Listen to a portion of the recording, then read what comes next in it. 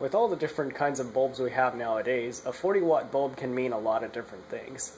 Most of us associate it with these 40 watt incandescent bulbs. This one produces 400 lumens, which is the brightness most of us associate with 40 watts or 40 watt equivalents.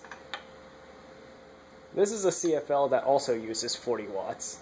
It's not 40 watt equivalent, it actually uses 40 watts. This bulb produces 2600 lumens, which is equivalent to a 200 watt incandescent bulb. So when you make the jump from incandescents to CFLs, the amount of light you get for the same wattage goes up by a lot. Once we start getting into LEDs, it gets even brighter. This is how high wattage LED bulbs tend to look with that signature corncob shape. Since this is a cheap generic bulb from China, I can't be certain if it's truly a 40 watt LED bulb or not, so for this comparison, I'll use my 40 watt LED work light instead because I know for sure what its specs are. This is my LED work light that has a 40 watt mode and an 80 watt mode. For the purposes of this video, I'll be using it at its 40 watt setting.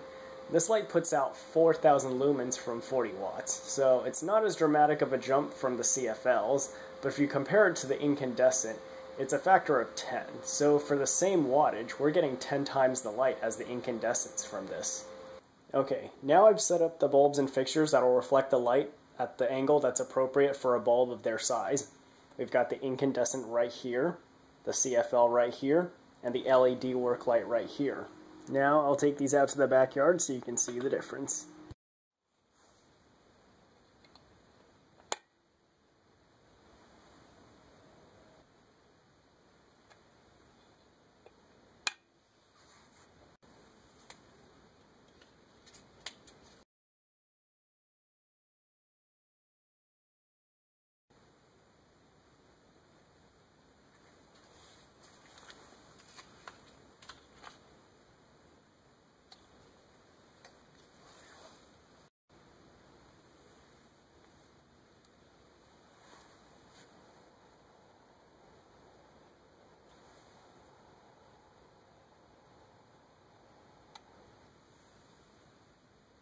As you can see, 40 watts can mean different things depending on the lighting technology you're talking about. When incandescents were the only source of light available to us, 40 watts only got you that much.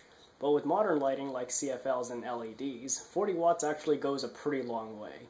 Modern CFLs are almost just as bright as LEDs, but that one minute it takes to reach full brightness is still a hassle we don't get if we just use LEDs.